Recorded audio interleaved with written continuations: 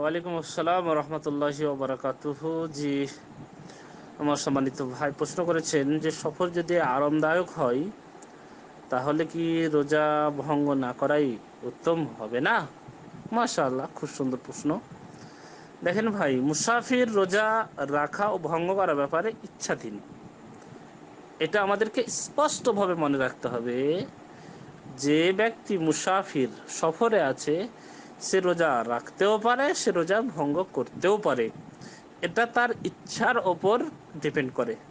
কেননা আল্লাহ রাবুল আলমী সুরা বাকারা, আয়াত নম্বর একশো পঁচাশি বলছেন, ওমান কানা মারিদান আও আলা সাফারিন ফাইদ্দাতুম মিন আইয়ামিন উখার, ইউরিদুল্লাহু বিকুমুল ইউসরা ওয়ালা ইউরিদু বিকুমুল উসরা।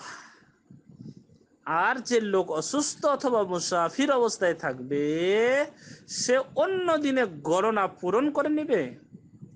সাহাবা ইকরাম গণ, নবী সাল্লা সাল্লামের সাথে সফরে থাকলে কেউ রোজা রাখতেন, কেউ রোজা ভঙ্গ করতেন। কোন রোজা ভঙ্গকারী, অপর রোজাদারকে দোষারোপ করতেন না।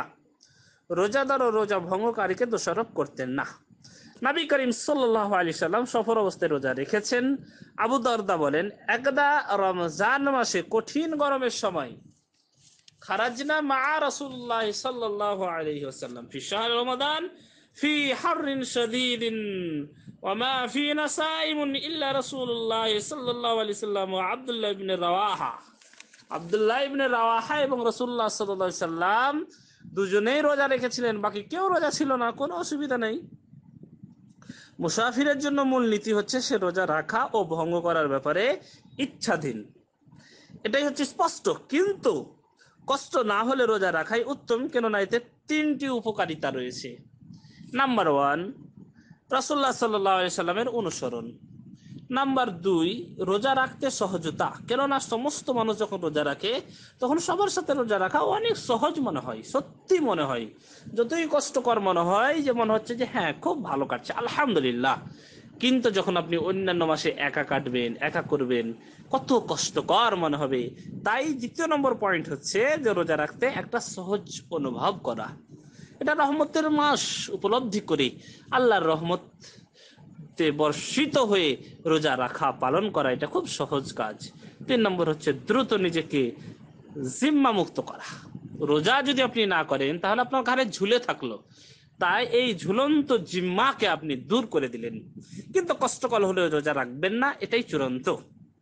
অবস্থায় রোজা রাখা পুণ্যেরও কাজ নয়। কেননা এক সফরে নবী সাল্লাম দেখলেন, দৈনিক ব্যক্তির পাশে লোকজন খারিয়ে আছে। ভিড় করেছে। রসুল্লাহ সাল্লাম দেখলেন যে তাকে ছায়া করে আছেন। রসুল্লাহ সাল্লাম জিজ্ঞাসা করলেন যে, কি ব্যাপার? লোকেরা বলল, যে লোকটি রোজাদার। তখন রসুল্লাহ সাল্লাম পরিষ্কার বললেন সফর অবস্থায় শ্যাম পালন করা কোনো পুণ্যের কাজ নয়, কোনো নেকির কাজ নয়। এটা তো ঠিক হয়নি। এটা জানিয়ে দিলেন। এ ভিত্তিতে আমরা বলব, বর্তমান যুগে সাধারণত সফরে তেমন কোনো কষ্ট হয় না, তাই শ্যাম পালন করাই উত্তম। আশা করি বুঝতে পেরেছেন। জাকাল্লাহ খাই আসসালামু আলাইকুম রহমতুল্লাহ